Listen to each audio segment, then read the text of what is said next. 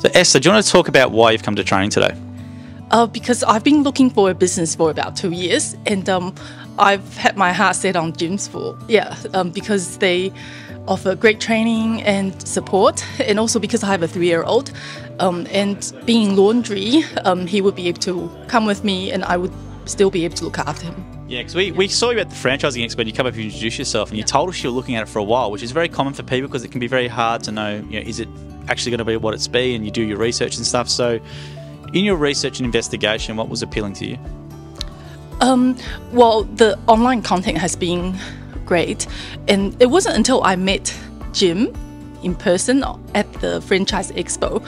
He, he just said to me, "You should look into laundry," and I did, and um, so I called Bill straight away, and and here I am. Yeah, I think it's because of the situation you described. You got a young young kid Yeah. at home, and what could be something that you could do, which could manage around the lifestyle. So, yeah, because that was the most appealing thing to you was that lifestyle, or Yes, the lifestyle. Yeah, and Yeah. because there's no childcare available where I am. yeah, Yeah.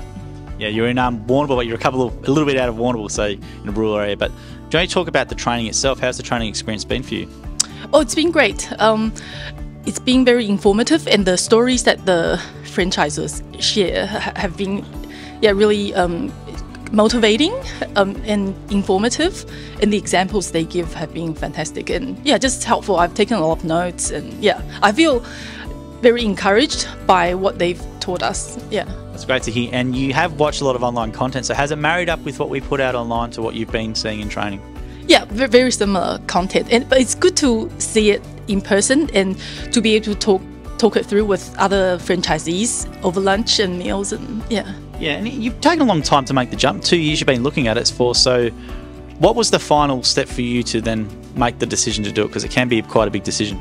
Yes, uh, because I've I've looked into a few different divisions. So I started off with bookkeeping. So so my criteria was, was that it had to be something that I could do, hopefully from home, and also it would fit in with my young family life. And um, so I looked into a few different divisions, and I've been turned away from one of them. And and then when um, Jim suggested I look into laundry, and I called Bill, and it just worked out from there. So that's why I'm here. That's great to hear. Now, was there any part of the training that stood out for you so far? Was it meeting Jim or hearing Jim's session, or what? What so far the training will you take away when you go back to um, near Warrnambool where you live?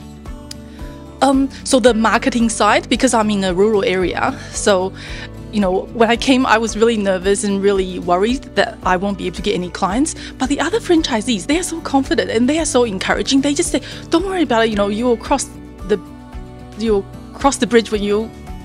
I don't Yeah, know. it's, yeah. Well, it's always a worry for everyone, but that, that's also we've got the pay for work guarantee in place, so that way you can get your name out there. You can do the, the free services, and the great thing of laundry because it's a repeat business, Yeah. you can do the free service, and they're like, you do such a fantastic job, get you back in place, which is there to help you as well to get you going. Yes, but I've spoken to other franchisees in laundry and they've said that they cannot find people to do the free services. So I had worries there, you know, because yeah, you can work for free, but if you can't find anyone to work for, you don't get paid. So so yeah, but I feel so confident now and I, I feel like I can market myself locally and I'll be fine. Yeah. That's fantastic. Is there any advice for someone who might be thinking about it in a similar situation for you about doing this? Is it something where you, what advice would you tell them?